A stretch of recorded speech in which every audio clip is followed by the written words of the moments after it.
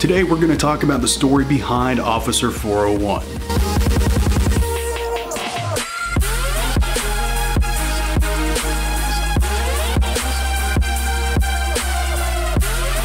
Hey guys, what's going on? I hope you're having a fantastic week so far. I am not going to be able to film another video until at least Friday, uh, if not next week. So I wanted to go ahead and get one out to you guys today. And I was thinking about it earlier and I was like, I really haven't talked about how this channel started, not in detail anyway. So I figured today I would share with you guys some things I don't think I've ever actually shared with you on this channel before. So my account uh, as Officer 401 has actually been around since December 12th of 2006. When I originally created this YouTube channel, it was just like any other YouTube channel out there. I'd never really put up content.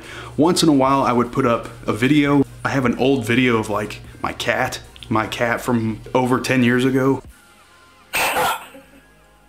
And throughout the years, I never cared about subscribers. I never, I never knew really what subscribers meant if that makes sense. So over the course of 10 years, I had this channel. The name Officer 401 actually comes from uh, the badge number of an officer that I used to do ride-alongs with.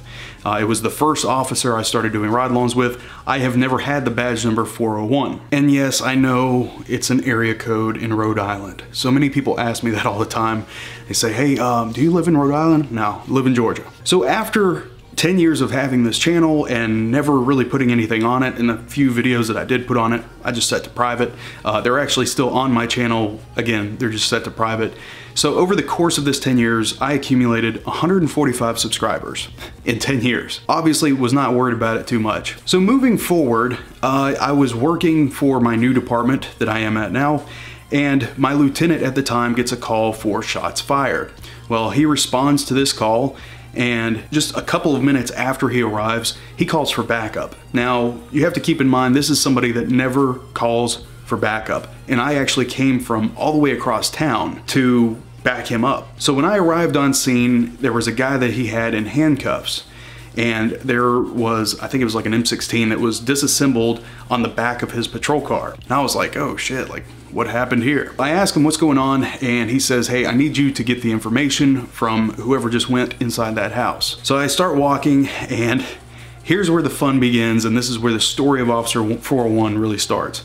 I'm walking through the driveway and the garage door at this house is open. And I just happened to glance into the garage and see this flag that was hanging up in the back of the garage. The logo on it I recognized. Whose logo was it? That's right, do It With Dan. I was actually in a couple of his videos and it was just him, he's a moto vlogger for those of you that aren't familiar, and he would put out these videos and there was times where like officers would fly by him, go in code or whatever while he was doing his video, and a couple of those times it was me. Throughout the years, people pointed out to me, hey, you're in this guy, Do It With Dan's video. It's like, oh, okay, cool, that's awesome.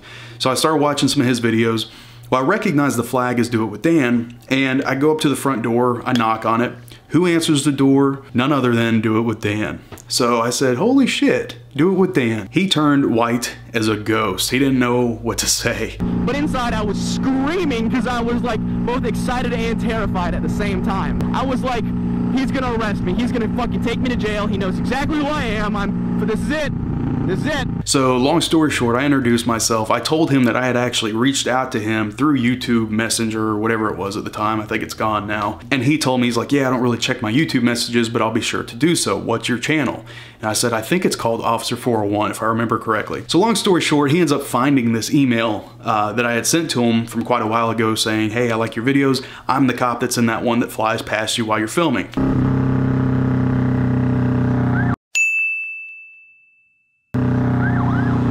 Oh my god. That scared the shit out of me, dude. I was like, he's totally coming for me. That deserves a backfire.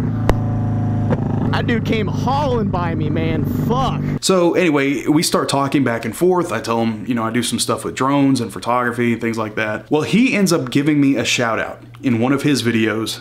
And uh, the very next morning, I went, again, remember, it took me 10 years to get 145 subscribers.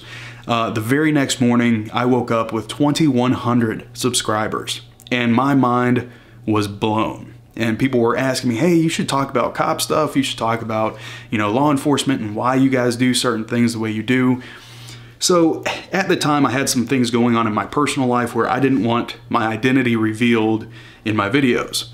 So for a long time, as you some OG watchers out there know, uh, I didn't show my face for a very long time on this channel. Well, people started figuring out who I was and like there were some like really creepy people online that figured out who I was pretty quickly. And now information's all out there. I really don't give a shit anymore. But either way, waking up to 2100 subscribers and people asking me to do videos and stuff, that is what sparked Officer 401. That is what started the whole thing. Uh, what really put this channel on the map was a video that I put out called What Do Cops Keep in the Trunk of Their Car? That video went viral. And I remember jumping from, I think I was at 17,000 subscribers by that time to 202,000 subscribers in like a week and a half. So that's really what put me kind of on the mark. And what sucks about that is that one video I was told to take down. I was only told to take down three videos by my department, and it was all by the same guy but he's retired and nobody else has said anything else since, so I have since made them public again. So that really sucked, having to take down a viral video, uh, but luckily I think it was kind of at its peak and starting to decline, so it didn't really matter by that point anyway. But either way, guys, that is the start of Officer 401. That is how I got my start. Had I not responded to my lieutenant that night, who's actually deceased now, I would never have met Do It With Dan. I never would have gotten that shout out. I never would have started this YouTube channel, and I'm not really sure what I would be doing right now. I enjoy what I do. I like making content for you guys. I really enjoy uh, creating and trying to come up with some ideas for you guys. Sometimes it's a little frustrating because I get frustrated with myself. Uh, obviously, not with you guys. I enjoy talking to you guys. But I get frustrated with myself because it's really hard to come up with stuff. It's hard to come up with different ideas, you know, several times a week for years. That's very hard to do, especially when you're so focused on one topic, which is law enforcement.